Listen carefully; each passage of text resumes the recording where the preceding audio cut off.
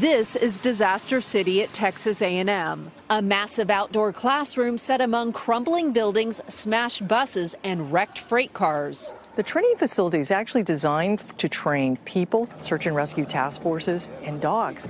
Here, Dr. Robin Murphy and her team test robots too. It's technology used in rescues all over the world. Last year, the front lines were close to home after Hurricane Harvey roared into town. Robots have saved lives, but it's kind of hard to capture that. They're aiding and abetting the rescuers and responders. During the frenzied days after Harvey, her team guided these drones on more than 100 missions, providing rescuers information on escape routes, damaged levees, and those desperate for help. They're invaluable. They In Fort Bend County, Judge Bob Hebert called the shots as emergency crews and volunteers rescued more than 49,000 people.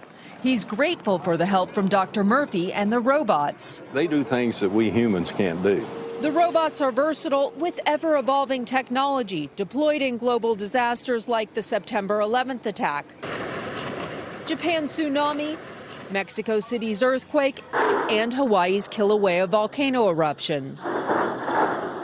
This is Bujold. She was one of the robots that was used at the World Trade Center. Each robot has a different specialty. Bujold is used to find survivors in a collapsed building. She can change her shape. These robots can squeeze into tight, dangerous spaces, going faster and farther to bring back life saving information. We believe that robots being the difference between life and death, it's now getting unethical not to use them. In the future, Dr. Murphy believes an army of robots will become a critical part of every emergency response. Tammy Leitner, NBC News, College Station, Texas. Hey, NBC News fans, thanks for checking out our YouTube channel. Subscribe by clicking on that button down here and click on any of the videos over here to watch the latest interviews, show highlights, and digital exclusives. Thanks for watching.